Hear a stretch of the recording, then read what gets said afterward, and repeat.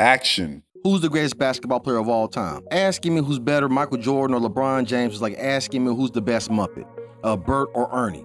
Both of these individuals have white men's hands stuck up their butt and they're only saying what their corporate masters allow them to say. When I want to talk about Michael Jordan, what did Michael Jordan teach me? Uh, to drink Gatorade and buy Michael Jordan shoes? Because no matter how many pairs of shoes I buy, no matter how much Gatorade I ever drink in my entire life, I will never be six foot six and be one of the best athletes in American history. That's not going to happen. When it comes to LeBron James, I really, he's my favorite basketball player of all time. But when it comes specifically to LeBron James as a human being, he went against the God order. You know what the God order is? The God order is God, man, woman, child. This man opened up an I Promise school and he put LeBron James as the God because he doesn't talk about God, so he's the pinnacle.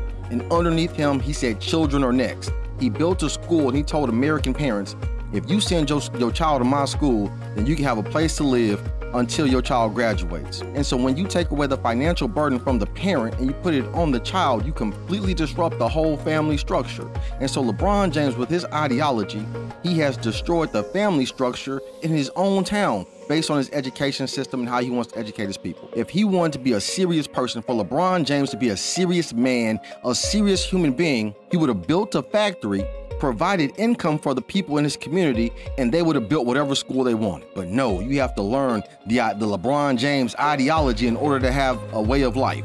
And so he made himself God. And so we're looking at these two individuals who are some of the most bestest athletes the world has ever created. But when it comes to them being free thinking, real individuals, they cannot articulate their own position and defend that position. And so if you're in America right now, you got a $100 million and you cannot have your own opinion, you're not a free person. You are simply a puppet who's being controlled by your corporate overlords. LeBron James might have a billion dollars, and he's never had an original thought that he's articulated to the people. And how can I take that individual seriously? How are you benefiting regular 5 foot 8, 5 foot 10, 5 foot 9 men in America? How does your ideas translate to them being great individuals?